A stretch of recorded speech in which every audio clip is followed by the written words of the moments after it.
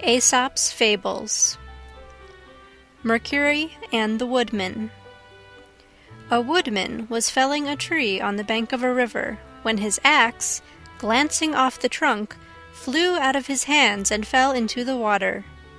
As he stood by the water's edge lamenting his loss, Mercury appeared and asked him the reason for his grief, and on learning what had happened, out of pity for his distress he dived into the river and, bringing up a golden axe, asked him if that was the one he had lost. The woodman replied that it was not, and Mercury then dived a second time, and, bringing up a silver axe, asked if that was his. "No, that is not mine either," said the woodman. Once more Mercury dived into the river and brought up the missing axe.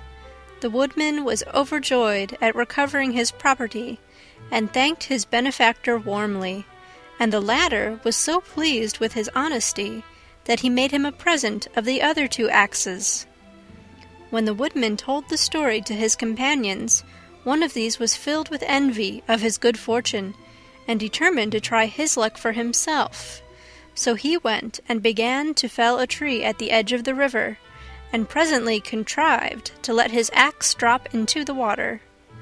Mercury appeared as before, and, on learning that his axe had fallen in, he dived and brought up a golden axe, as he had done on the previous occasion.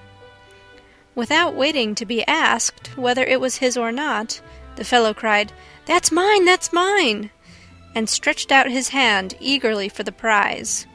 But Mercury was so disgusted at his dishonesty that he not only declined to give him the golden axe, but also refused to recover for him the one he had let fall into the stream. Honesty is the best policy. End of Mercury and the Woodman.